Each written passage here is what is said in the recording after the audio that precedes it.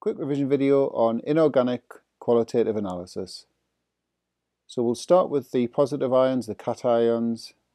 So I'm looking at ammonium, copper 2, manganese 2, iron 2, iron 3 and chromium 3. And then when we're finished with these we'll look at the negative ions. So ammonium ions first. To your sample of aqueous ammonium ions you'd add a small amount of dilute aqueous sodium hydroxide and warm gently. You test any gas produced with damp red litmus paper and litmus paper should go blue due to the production of the ammonia gas that's produced by the reaction. And the ionic equation for that looks like that. So there's the ammonia gas that's causing the damp red litmus paper to go blue. Copper 2 now. So to your sample of aqueous copper 2 ions, you'd add a small amount of dilute aqueous NaOH. The reaction produces a pale blue precipitate of copper 2 hydroxide and the precipitate is insoluble in excess sodium hydroxide. So the equation looks like that and it actually looks like that the result. These are photos that I've taken myself. So manganese 2 now, very similar setup. You'd add a small amount of dilute aqueous sodium hydroxide the reaction gives a light brown or pale pink you can call it or even a buff coloured precipitate of manganese 2 hydroxide. The precipitate darkens on standing in air and it's insoluble in excess sodium hydroxide. The equation, very similar to the last one.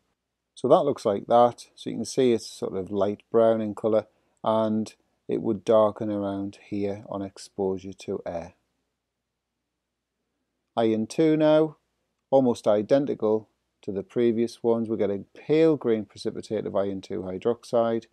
It turns as a reddy brown on standing in air and it's insoluble. The precipitate's insoluble in excess sodium hydroxide. There's the equation and that's what the photo looks like. So hopefully you can make out that's sort of a greeny colour and you can definitely see the, um, the sort of reddy brown colour there uh, from the oxidation of the iron 2 up to iron 3.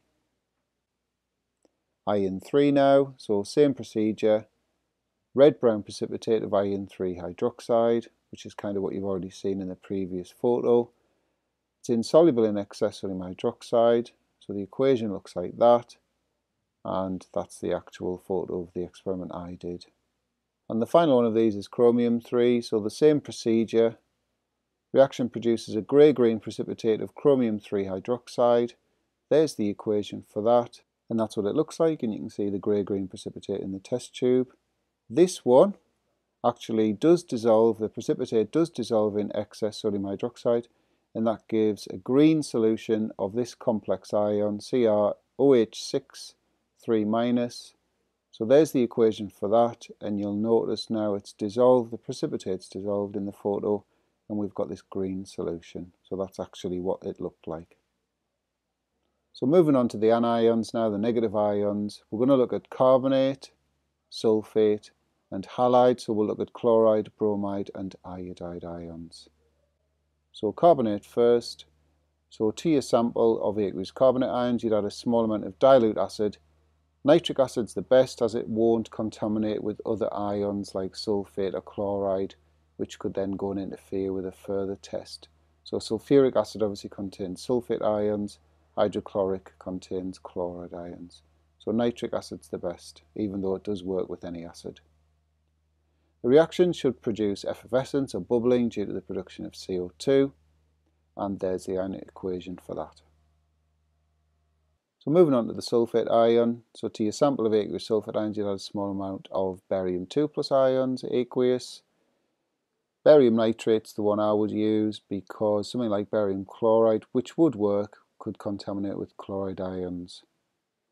So the reaction should produce a white precipitate due to the production of barium sulfate. That's obviously an insoluble solid. And there's the equation for that one.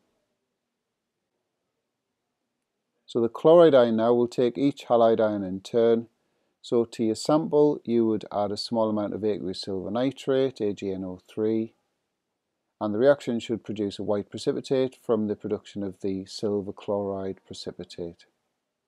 There's the equation for that.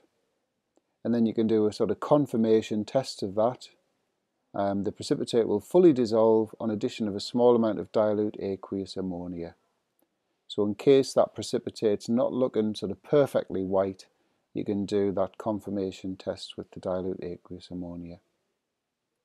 Bromide ion now, the same procedure as before. This time we should get a cream precipitate from the production of AgBr solid. There's the equation.